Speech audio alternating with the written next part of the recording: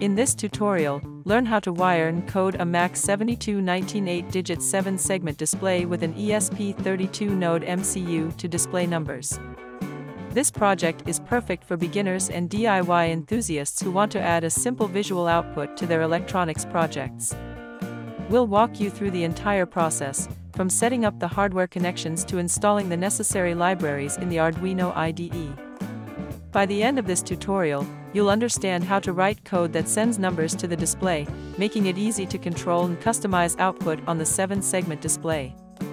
In this project, you will need ESP32 node MCU, MAX72 19 8-digit 7-segment display. To set up the connections between your ESP32 and the MAX72 19 8-digit 7-segment display, start by linking the power pins. The provided wiring diagram will guide you in making the connections easily. First, connect the 3.3V pin on the ESP32 to the VCC pin on the MAX7219 to supply power to the display. Then, connect the GND pin on the ESP32 to the GND pin on the display to complete the power circuit.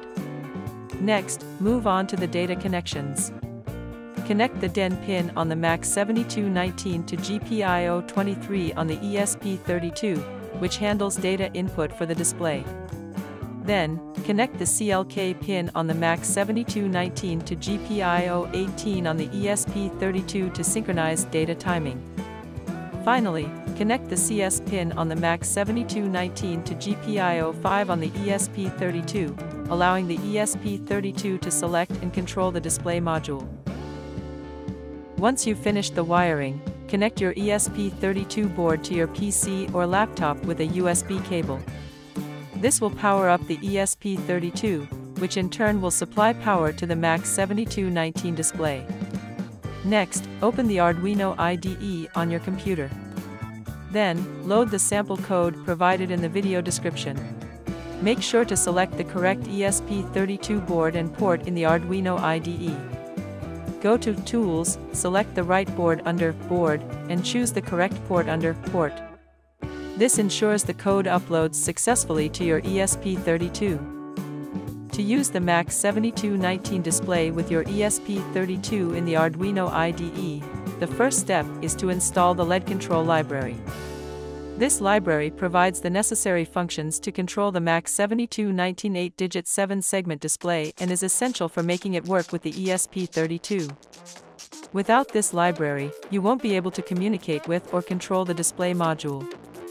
To install the LED control library, open the Arduino IDE and go to the Sketch menu in the top bar. From the drop-down, select Include Library, then click on Manage Libraries. This action opens the Library Manager window, where you can search for and install libraries. In the Library Manager, type LED Control in the search bar. The library by Eberhard Fahle should appear in the list. Once you find it, click the Install button next to it to add the library to your Arduino IDE.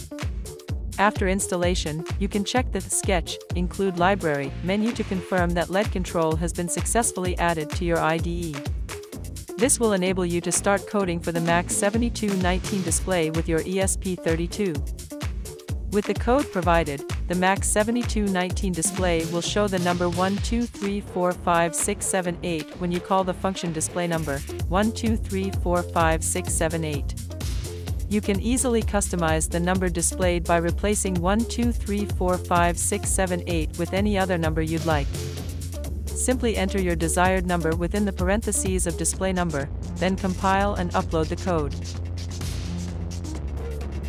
If you encounter a compilation error like fatal error, AVR slash space H when compiling your code, it's likely due to compatibility issues with the LED control library on the ESP32. To fix this, locate the LED control library folder on your computer.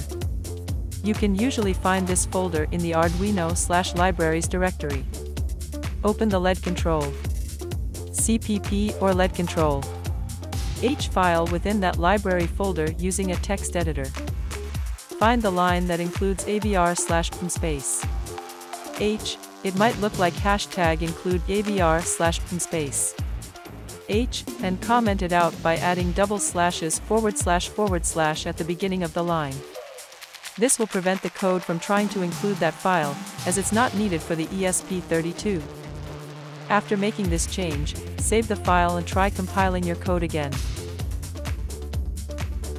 Now that the code has successfully compiled without any errors, the next step is to upload it to your ESP32 board. To do this, ensure your ESP32 is connected to your computer via a USB cable. In the Arduino IDE, select the correct board and port under the Tools menu. This will ensure the IDE communicates with your ESP32 properly. Once your board and port are selected, click on the Upload button, an arrow pointing to the right, in the Arduino IDE. The IDE will begin uploading the code to your ESP32, which may take a few moments. During this process, you'll see messages in the bottom console of the IDE indicating that it's connecting to the ESP32. Once the upload is complete, you'll see a message confirming that the code has been uploaded successfully. Now, your ESP32 will start running the code, and the MAX7219 display should show the desired output based on your code. For further clarification, we've included in-depth explanations of these features in other segments of this video series. Additionally, you'll find more code examples related to LED display projects, helping you expand your skills and explore more creative applications. If this video was helpful, please consider supporting us by liking, sharing, or subscribing to our channel. Your support allows us to keep creating valuable content and resources for our audience. Every bit of support makes a big difference, and we truly appreciate it. Thank you.